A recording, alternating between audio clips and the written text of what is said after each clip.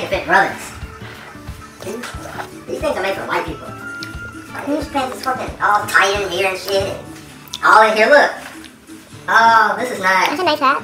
Huh? That's a nice hat. Excuse me? That's what I'm saying. My other doctor's like, these are straight white boys. Like, good God.